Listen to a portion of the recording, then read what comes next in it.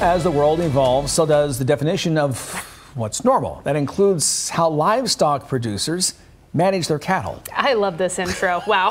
LEX 18's Kaylee Randall visited a University of Kentucky farm to see firsthand how workers herd cattle from the sky. finding cows, finding calves. This can be an essential tool for a lot of producers. Introducing the evolution of technology and cattle management combined. We're just trying to think about, we have this device that's commercially available. Can this be something that people utilize on their farm? With a more than $900,000 grant awarded to the University of Kentucky Martin Gatton College of Agriculture, Food and Environment.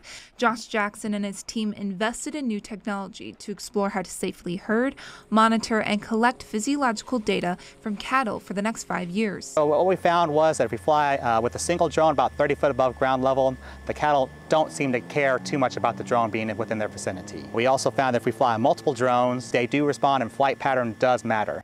Jackson admits drones are more reliable than cattle dogs because they increase the safety for animals and farmers.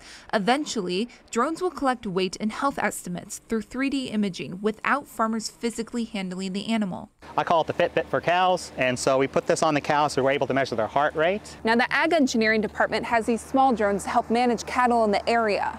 But they also have this very large drone that they put chemicals inside to help maintain the health of their pastures. Going along fence lines, spraying some herbicide, you know, getting rid of weeds. So this could be a very effective tool for some of our cattle operations across the state. The, the flight gives a lot of dynamic capabilities. A lot of producers, I tell them, if you can check cows without ever having, without ever having to open a gate, that's a huge benefit to them. At the moment, the drones aren't cost effective, but Jackson says there is hope over time to make it more financially affordable. In Fayette County, Kaylee Randall, LEX 18 News.